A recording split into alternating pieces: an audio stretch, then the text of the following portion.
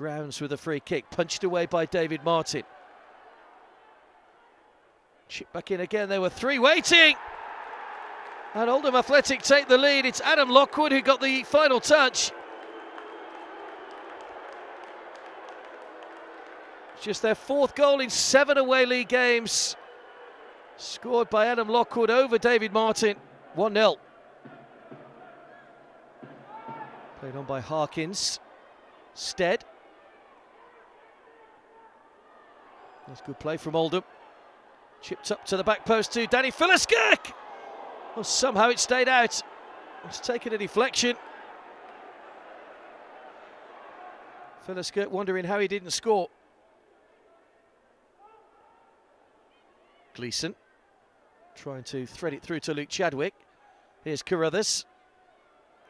Oh, he's done well against Samir Carruthers. Still going, still going Carruthers. What a run this is. Still going Carruthers. It's a wonderful goal. Outstanding from Samir Carruthers. And MK Dons are back on level terms. A solo goal levels things up from Carruthers. Gleeson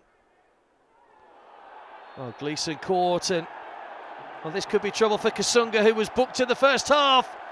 And Genseric Kusunga will be sent off. And Oldham are going to play the last 24 minutes with 10 men. That was the challenge on Gleeson. Second yellow card. Foot. Powell. Pushed away by Oxley, but straight to the foot of Ben Reeves who scores MK Dons second of the match, and in added time, it could be the goal that gives them all three points and a second successive win.